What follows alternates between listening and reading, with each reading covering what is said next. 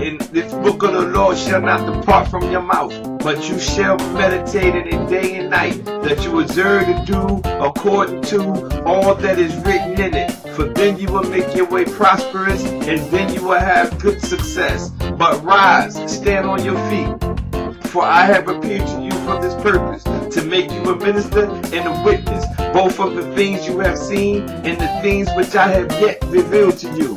I will deliver you from your own people and from the outsiders, to whom I now send you, to open their eyes, in order to turn them from darkness to light, from the power of Satan to God, that they may receive the forgiveness of sins and an inheritance among those who are sanctified by faith in me.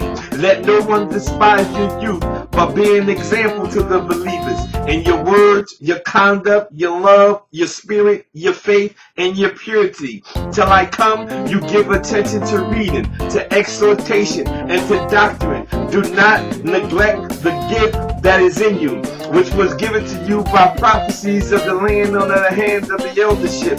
Meditate on these things. Give yourself entirely to them, that your progress may be evident to all. Take heed yourself and the doctrine. Continue with them. For if you do this, you will save not only yourself, but everybody that hears you. That, what I just recited, was the call God gave me when I was in America's Keswick Colony of Mercy. I was made for this.